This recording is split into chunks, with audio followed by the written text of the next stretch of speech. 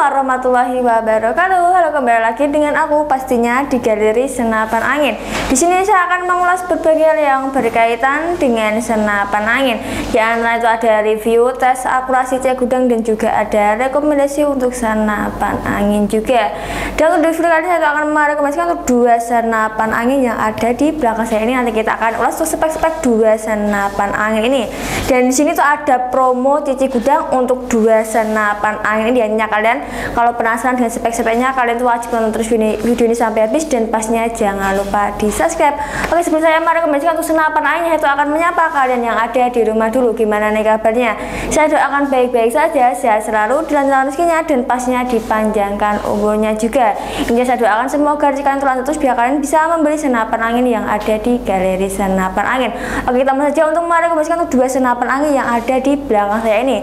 Itu senapan angin cuci gudang di galeri senapan ini yang kalian tuh tonton video ini sampai habis jangan sampai di subscribe jangan sampai dilewati biar kalian tuh bisa tahu tuh spek-spek senapan angin, angin ini dan juga bisa tahu untuk harga cuci gudang untuk di senapan angin ini. Intinya jangan sampai dilewatkan ya. Kita mulai saja untuk merekomendasikan untuk senapan anginnya. Di sini tuh ada senapan angin predator barakuda dan juga ada senapan angin predator bumbera kita bahas dari senapan angin yang pertama dulu itu senapan angin predator bumbera kita bahas dari bagian depan sampai ke bagian belakangnya ya. Kita bahas ke bagian depannya dulu. Untuk depan sini ada bagian larasnya. Untuk larasnya ini sudah dilengkapi dengan serambang juga. Untuk serambangnya itu ordernya itu 22 untuk serambangnya itu ada double serambang ya.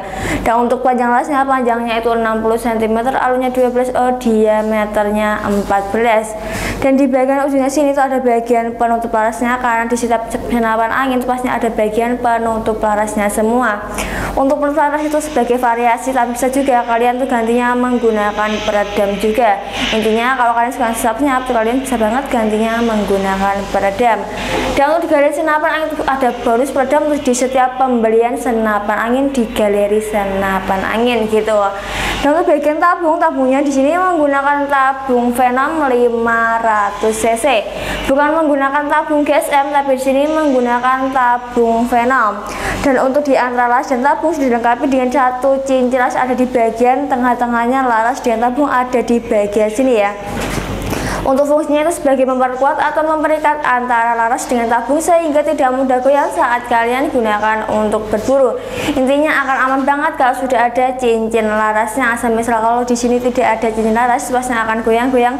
Dan kalau kalian gunakan untuk berburu, itu pastinya tidak akan tepat sasaran. Makanya di sini dilengkapi dengan cincin laras agar aman dan pastinya tidak akan goyang-goyang saat kalian gunakan untuk berburu. Intinya akan aman banget kalau sudah ada bagian cincin larasnya tidak akan goyang-goyang saat kalian gunakan untuk berburunya akan aman banget gitu ya.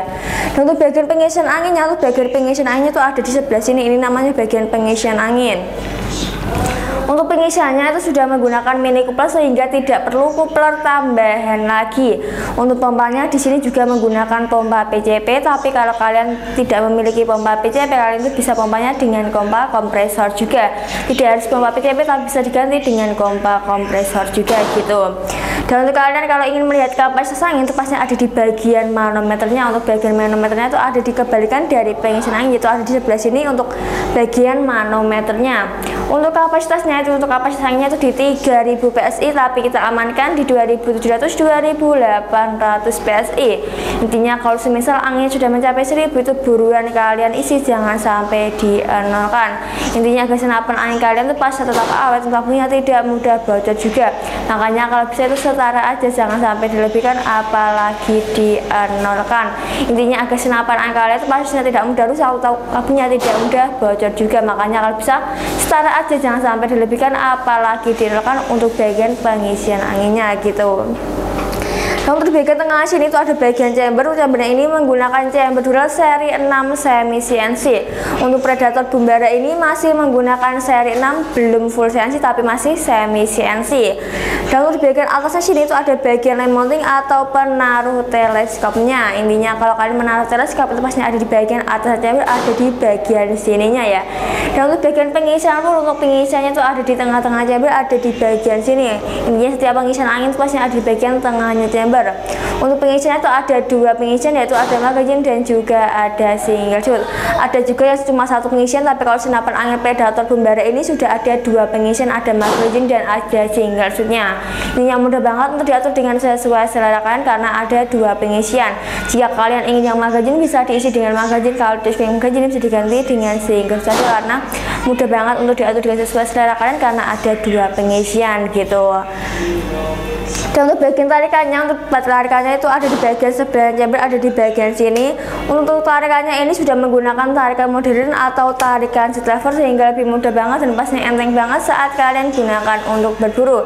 Karena di sini sudah menggunakan tarikan lever bukan lagi menggunakan tarikan grendel gitu dan untuk bagian sini juga ada bagian triggernya. Untuk triggernya ini sudah menggunakan trigger mag karena di senapan angin itu ada dua trigger ada kasih dan juga ada trigger mag tapi kalau senapan angin predator bumbara ini sudah menggunakan trigger mag dan untuk bagian atas sini itu ada bagian safety trigger atau pengaman picunya yang fungsinya sebagai pengaman. Untuk senapan angin ini agar tidak dipakai sembarang orang. Semisal kalau senapan angin ini dipakai anak-anak itu akan bahaya banget karena senapan angin ini bukan mainan. Makanya kalau kalian sudah tidak lagi gunakan senapan angin ini amankan saja dengan memecat pengaman picu atau safety triggernya saja? Intinya agar aman dan pasca tidak dipakai untuk sembarang orang gitu untuk di bagian sini juga ada bagian hand gripnya atau pegangannya dan untuk hand gripnya ini sudah menggunakan hand grip yang ori sehingga saat kalian pegang saat kalian tangan kalian ini tidak akan meleset karena di sini sudah menggunakan hand grip yang ori gitu. Dan untuk bagian setelan powernya, untuk bagian setelan powernya itu ada di bagian sini ini namanya bagian setelan powernya. Untuk setelan powernya ini bisa kalian putar ke kiri untuk small game dan juga ke kanan big game atau yang big game itu untuk bulan besar semisal kayak baby, biawak dan lain sebagainya juga. Intinya bulan-bulan besar yang berkaki empat kalau small game itu baru yang bulan kecil misal kayak burung, tupai dan lain sebagainya juga. Intinya kalau kalian menggunakan itu jangan sampai kebalik yang big game-nya besar small game itu yang kecil gitu untuk di bagian sini juga ada bagian popornya. Untuk popornya ini menggunakan popor maju mundur. Intinya popornya itu mudah banget karena bisa dimaju dan mundurkan untuk sesuai dengan selera kalian. Dan untuk belakangnya sini itu ada bagian sandaran bahu yang terbuat dari karet mentah sehingga lebih nyaman dan pastinya empuk banget saat kalian gunakan untuk bersandar di bahu kalian gitu. Oke tadi kita sudah bahas spek senapan angin yang predator bumbara. Selanjutnya kita bahas ke senapan angin yang kedua itu senapan angin predator barakuda bahas dari bagian larasnya terlebih dahulu nanti kita berurutan sampai ke bagian popornya. Untuk lasnya ini menggunakan las basis bas yang pastinya sudah dilengkapi dengan serombong juga. Untuk serombongnya ini ada double serombong yang berwarna merah di dalam ini namanya juga serombong yang berwarna hitam di bagian luar namanya juga bagian serombong. Untuk serombongnya ordernya itu 22 ya ini ya untuk selabanya ini ordernya itu 22 untuk panjang lasnya, panjangnya itu 60 cm, alurnya 12 oh diameternya 14. Untuk di bagian sini juga ada bagian penutup lasnya. Untuk penutup las itu sebagai variasi, tapi bisa juga kalian tuh gantinya menggunakan peredam juga. Intinya kalau kalian suka berburu yang senapnya harus dipakai peredam saja agar tidak berisik gitu ya. Untuk bagian sini juga di bagian bawah sini ada bagian tabungnya. Untuk tabungnya ini menggunakan tabung Venom 500 cc. Bukan menggunakan tabung GSM tapi di sini ini menggunakan tabung Venom semua ya. Untuk di sini juga ada bagian laras dengan tabung. Namun di bagian laras dan tabung ini sudah bagian satu cincin, cincin lasnya juga di bagian ujungnya laras dan tabung. Kalau ini ada di bagian tengah-tengahnya tabung dengan laras, kalau ini ada di bagian ujungnya tabung dengan laras. Untuk fungsinya sebagai memperkuat atau memperikat antara laras dan tabung sehingga tidak mudah goyang saat kalian gunakan untuk berburu. Intinya akan aman banget kalau sudah ada bagian cincin larasnya. Semisal kalau sini tidak ada ada cincin laras itu pastinya akan goyang-goyang dan kalau kalian gunakan untuk berburu itu pastinya tidak akan tepat sasaran. Makanya di sini dilengkapi dengan laras agar aman dan pastinya tidak akan goyang-goyang saat kalian gunakan untuk berburu. Intinya akan nyaman banget dan pastinya akan aman banget saat kalian gunakan untuk berburu tidak akan goyang-goyang karena di sini sudah ada bagian cincin larasnya gitu.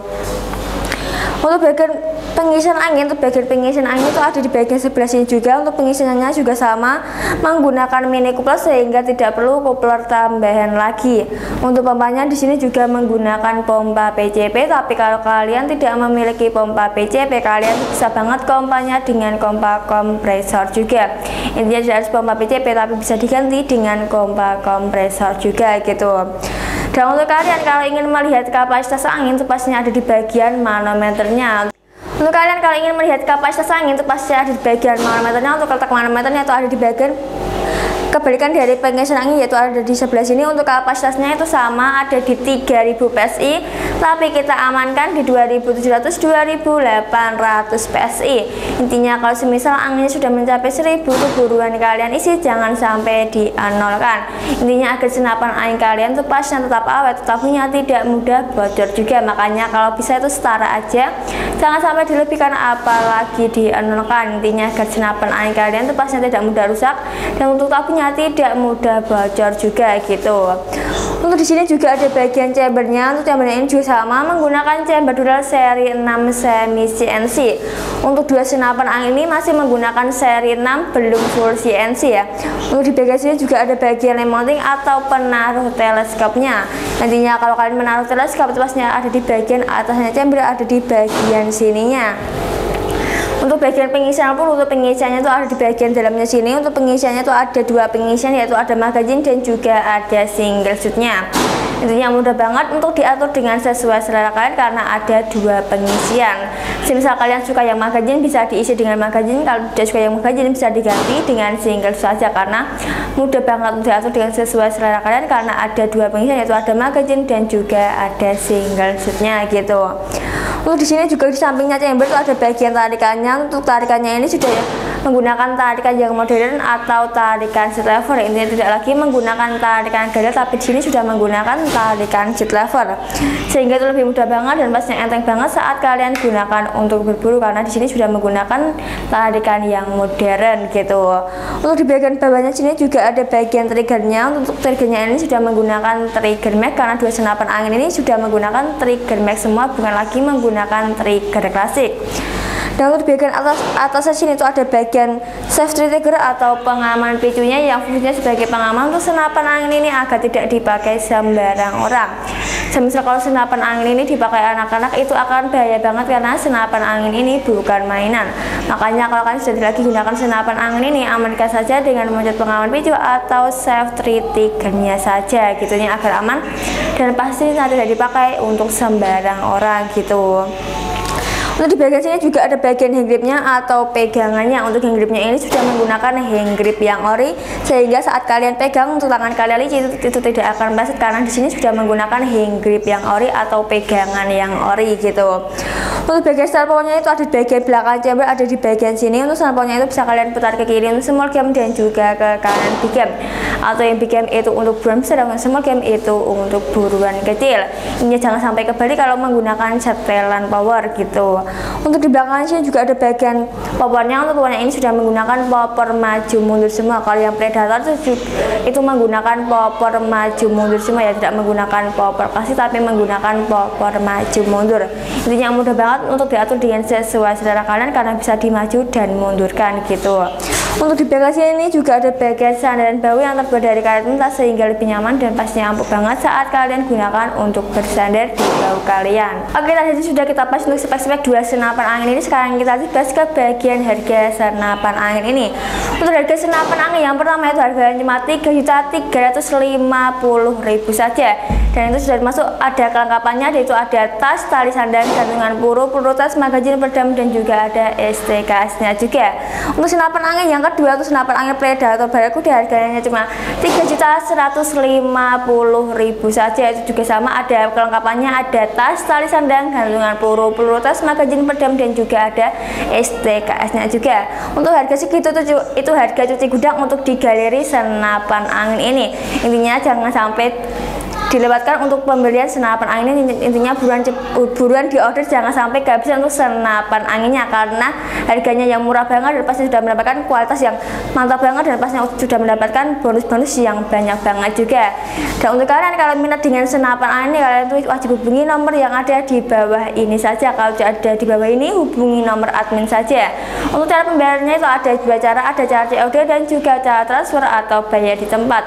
Untuk cara COD pastinya gampang banget kan saya kirim foto KTP sesuai dengan alamat Anda. Jika kalian tidak mengirim foto KTP, kalian bisa dikenakan DP sebesar 100 ribu saja untuk tanda jadi keseriusan Anda. Untuk transfer, kalian bisa hubungi nomor yang ada di link deskripsi saja. Oke, sedikit rekomendasi dari saya. Jika kalian suka dengan videonya, jangan lupa di like untuk kerjasama bisa ditulis di kolom komentar di bawah ini. Saya dia pamit undur diri. Wassalamualaikum warahmatullahi wabarakatuh. Dadah.